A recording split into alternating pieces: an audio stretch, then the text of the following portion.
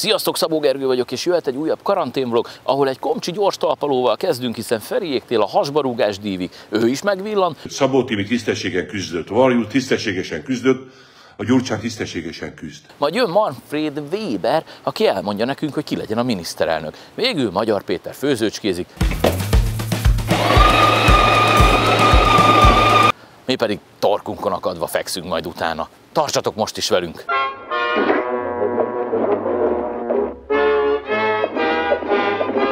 Ígértem nektek egy kis komcsi talpalót, egy gyors talpalót, mert hogy náluk ez tényleg szó szerint értendő, úgyhogy a legutóbbi bunkó találkozón Feriéknél a DK-nál az egyik bunkó hasba rúgta a másikat. De persze csak azért, mert azt hitte, hogy a másik ütni fog.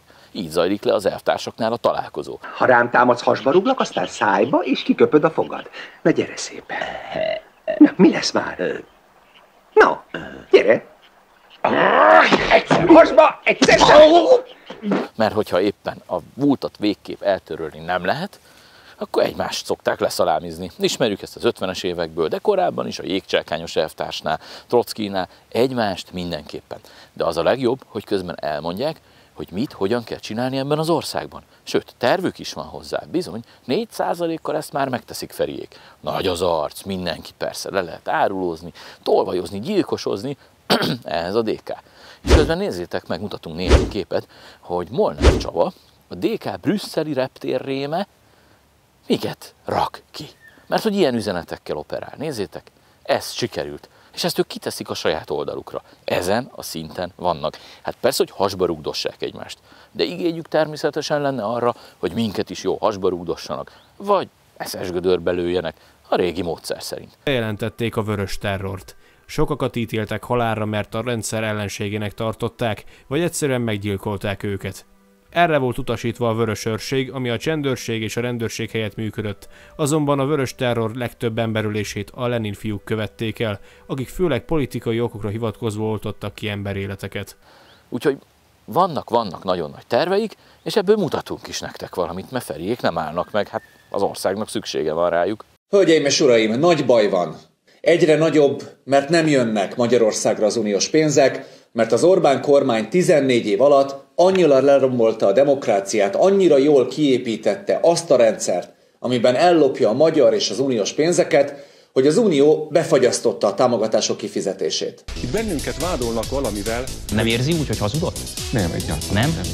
Hazudtunk reggel, éjjel meg este. Ez rossz. Nagyon rossz az országnak. Rossz. Nagyon rossz. Újra elmondom. Már közénk tartozol. És jelenleg bajban vagyunk. Hát persze, hogy mindannyian szeretjük ezt a mély munkásőrtempót. És akkor talán valamit virítani is kéne, mert eddig az, hogy minden rossz, azt tudtuk. Na de hogyan lehet ezt megoldani? Én most már tényleg tűkön ülök, elvtársak. A demokratikus koalíció úgy döntött, hogy elvégzi az Orbán kormány munkáját az Orbán kormány helyett, annak érdekében, hogy hazahozzuk a felfüggesztett Európai Uniós pénzeket, és megakadályozzuk az uniós pénzek további ellopását. Viszont te Baxi, te bunkó vagy, kitömni való barom vagy, és még finom voltam. A hülyeséget félmillió dollárunkba kerül.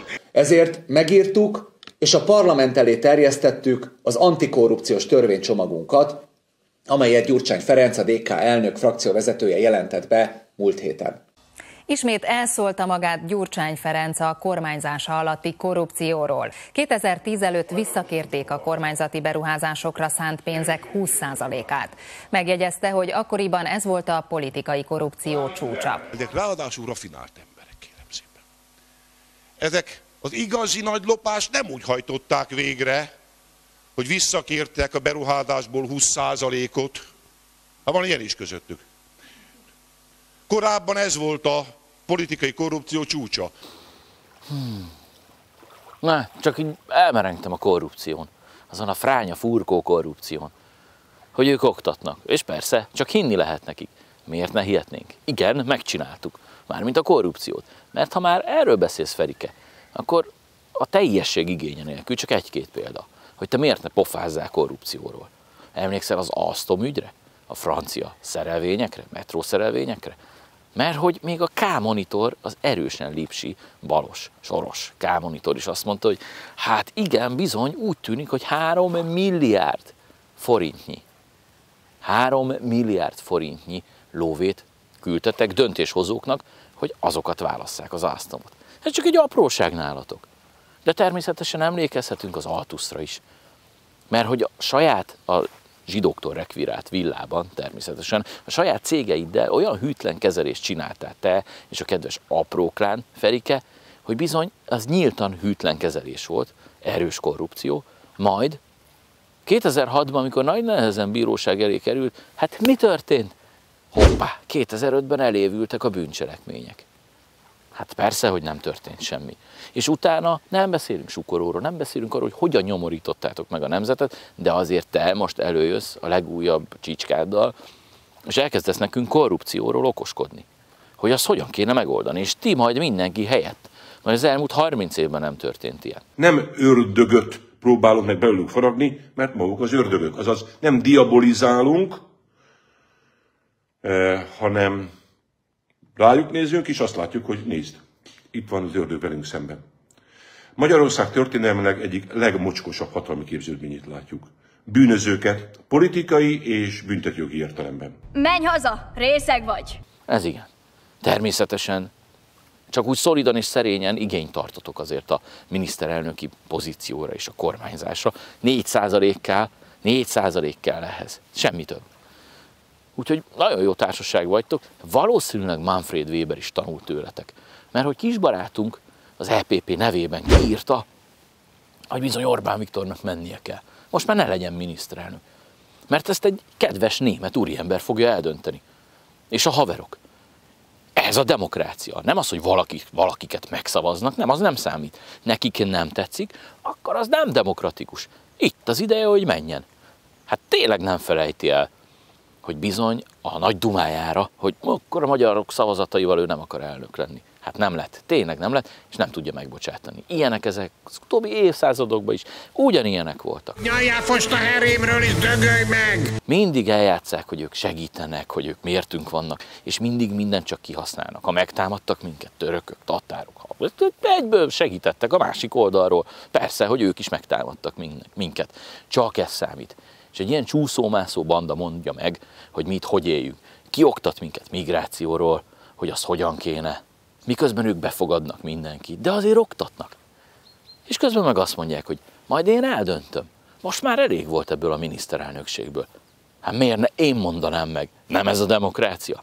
Úgyhogy szép csapat ez, gyerekek. Hogy mi a bánatos szűzmária történhetett. És hát láttátok ugye ezt a szép kis képet, de most mozgóképpel jövünk, ez is kemény lesz a végére, hagytuk Petikét, annyira rimánkodik mindig, de már nem akarunk vele foglalkozni, viszont ez annyira vicces lett, hogy hihetetlen.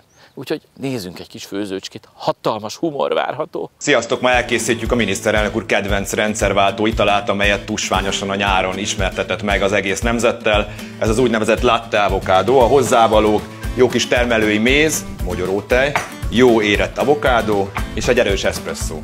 Na készítsük el. Már is elkészült a mindenmentes Slim Fit Latte Avocado, a rendszerváltás itala. Nézzük milyen lesz. Hát nem túl bizalomkeresztő, de hiszek a miniszterelnök úrnak és megkóstolom. Ezt inkább meghagyom a miniszterelnök úrnak. Én maradok egy jó erős eszpresszónál. Vatels. Hé, hey, kap be! Hát, de haragudjatok, csak törle, mint a könnyeket a szememből, annyira vicces volt a nemzetvezető csodaszarvas. Nekem nagyon tetszett. Mert hogy nem csak kőkemény, nem csak mindenhez is ért, hanem vicces is. Mióta hitettet Manfred Weberéknek, hogy mindent elad és mindent megszavaz, azóta még viccesebb lett. Úgy, úgy lement róla még egy teher. És ez, ez különösen jól sikerült. És mindenkitől elnézést kérek, főleg kedves tisztásoktól, hogy kihagytam a videó közepét, amikor azzal a nemes kezével ö, rakja össze a dolgokat, és, és turmixol, mert azt is annyira jól csinálta. Tesszük belőle a magot, belekanalazzuk a turmix gépbe, beletesszük a termelői mézet, mintha Ausztráliában lennénk, mert ez egy ausztráli per, ugye miniszterelnök úr? Ne szopos már, komolyan mondod? És tényleg annyira jó lett volna, hogyha ha ott van az ember, és csak egy kortyot ihat abból, tök mindegy, miből készül, ő csinálta. Tehát jó.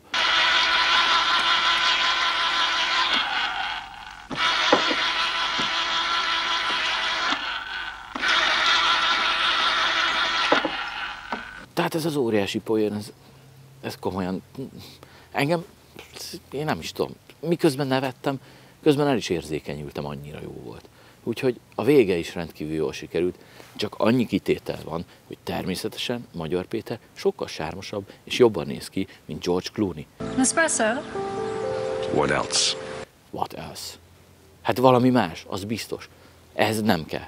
Ez nagyon gáz. De természetesen vérese tapsikolják a kezüket a Nagy Ervinek. És ellenzéki ö, kritikus hangnemben vagyok a, ma, a jelenleg regnáló kormányjal, és egy közismert személyiség vagyok, mert színész vagyok, és viszonylag sikeresen űzöm a szakmámat. Nagyon köszönjük, hogy eljöttél. Egyéni színfolt voltál. Szia, szia, szia. Meg a többiek, és most már lyukas zászló is van. Úgyhogy kész, ennyi. Az egész világ rájuk szavaz. De ennyit erről. Köszönjük Magyar Petinek, köszönjük az összes furkónak, úgyhogy már ennyi is volt a karanténból, köszönjük nektek, iratkozzatok fel ide a YouTube csatornára, a TikTokra és a Rumble-re is, jövő héten pedig ismét találkozunk hasonló furkóságokkal, vigyázzatok magatokra, jó hétvégét, sziasztok! Hey, big boy, why don't you come up and see?